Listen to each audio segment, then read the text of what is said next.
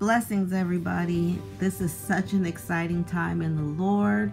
Amen. I am excited and I hope that you are too. Um, if this is your first time here, my name is Patricia Laskey. Welcome. I'm so glad to have you. And if you are subscribed to this channel, thank you so much for your love and support. So today I have a prophetic word. The Lord says it is time to live again. Amen. Amen um, you know, the Spirit of the Lord is moving upon His children and He is causing us to live. So let's look at Ezekiel 37 3 through 5. And he said unto me, Son of man, can these bones live?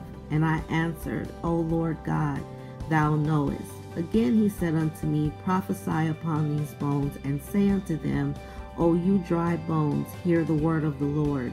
Thus saith the Lord God unto these bones Behold, I will cause breath to enter into you, and you shall live. Now, as I was sitting and meditating on this word, the Lord spoke to me and said, I'm causing my children to live again.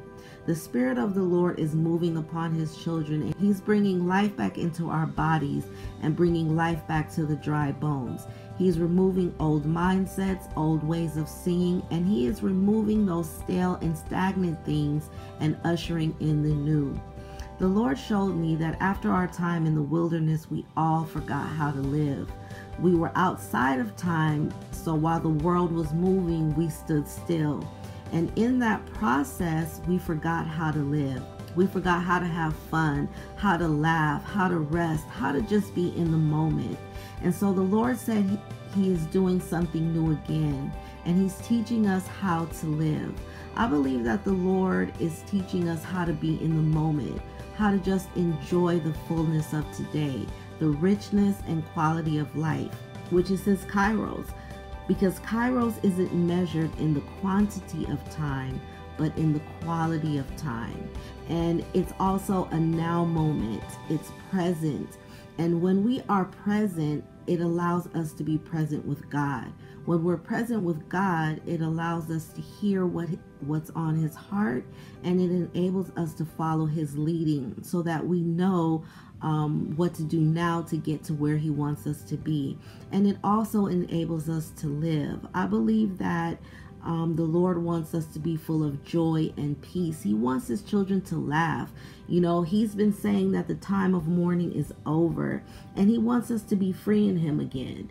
Um, this is not something that we do, right? This is something what the Lord is showing me is that He's doing it. He's moving. His Spirit is moving upon us to bring us back to life again. You know, He's reviving those dead places and bringing us back to life. He wants us enjoying life again.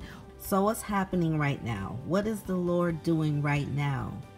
You are being quickened.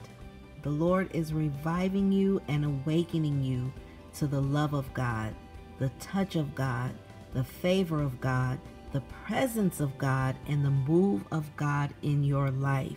He's causing you to live while having a confident expectation of good for what lies ahead. He doesn't want us going out and moving um, into the things that He's called us to with fear or with doubt or with timidity. He wants us to be excited and living, just living in the moment, moving forward with God and being present. So the Spirit of the Lord is moving upon us right now in this hour, and He's causing us to be full of life again.